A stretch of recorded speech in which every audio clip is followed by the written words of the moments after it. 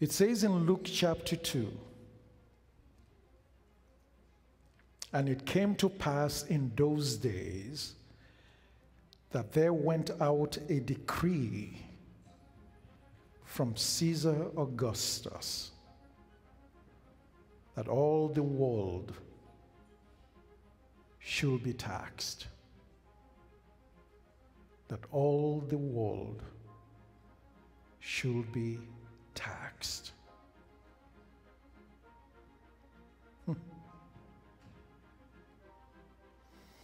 The word there, tax, is a very interesting word. It's a Greek word, apographo. Apographo. And that word means exactly what is stated there to be taxed. It means also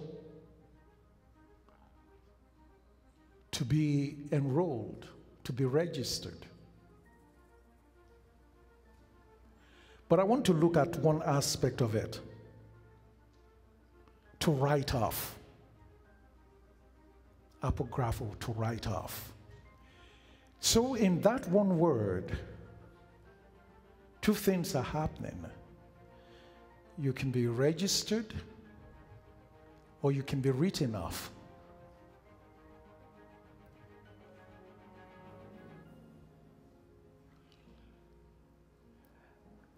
And in a sense, every one of us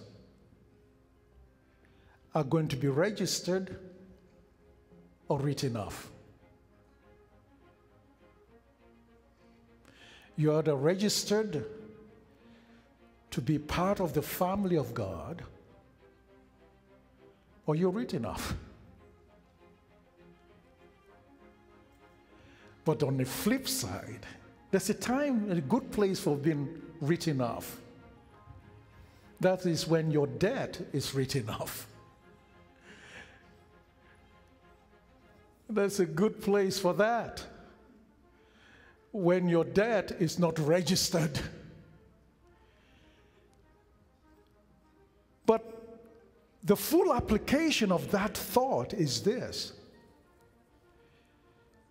that on one flip side, God registers you in and writes off what does not belong in your life.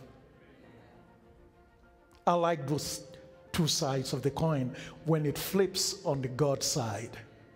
Don't you? Well, what do you want? Everybody was sent back to their hometown, to their roots. You had to go back to your roots to get registered. What is your root? The fact is that the Bible tells us that God created us in his image and his likeness. So your real roots are with God. And if you want to thrive, you must get connected back to your roots. If you take a fish out of water and you put it on dry land, what will happen to it? It will die. Because that is not his habitation. If you're not connected back to your eternal habitation with God, you die. It doesn't matter how amazing you might feel, and well, these are fake plans. But the reality is, if you were to go to the store and you bought a rose, is that rose alive or dead? It's dead. But once upon a time, when it was attached to the main plant, it was what? Alive. But as soon as you cut it off, it begins to die. It might look like it's still alive and everything is well with it because, wow, that little bloom opens up and you think it's growing. No, it's dead. It's dead. It's dead because it's been cut off from its roots. So it is with every one of us. When we don't stay connected with God, we die.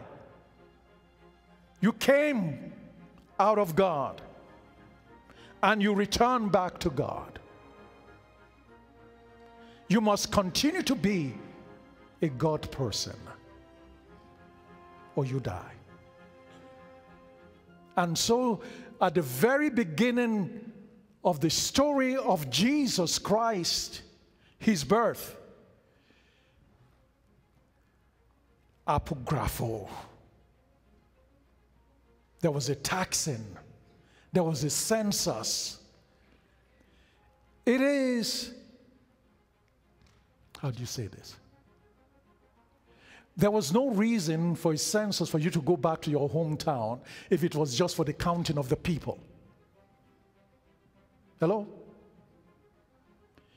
Because I get counted here because I'm in Canada. I don't go back to Nigeria to be part of the census there. I'm here, I get counted here. Because in this place where I am, that's where the impact of a census takes place. The government divides its funds for infrastructure, for education, for whatever it is, based on the fact that this is where I am. So it was unnecessary to send people to their hometown, other than God was trying to make a point. And the point is get back to your roots. Your roots in God. Get back there because that's where you're going to be counted, that's where you're going to live. Christmas is about getting back to our roots, recognizing there is a God who loves me with an everlasting love. A God who's calling me out of darkness into his marvelous light. A God who was to infuse me with kingdom experience. A God who wants me healed, restored, and made every way whole. Tonight, if there is anyone here hearing my voice right this very moment, and you know, you know, you know in yourself, you know what? I need to get back to my roots. Then I invite you to do that. Is there somebody here tonight that really needs to make that connection? Let me pray with you. Heavenly Father, I thank you, Lord, for this great congregation. All these sons and daughters gathered here tonight. I thank you, Lord, that your word is activated in their lives. They are registered, their names are written in the book of life. And Lord, because their names are written in the book of life, everything else that does not belong to their life is written off. And it's a new day, a fresh start.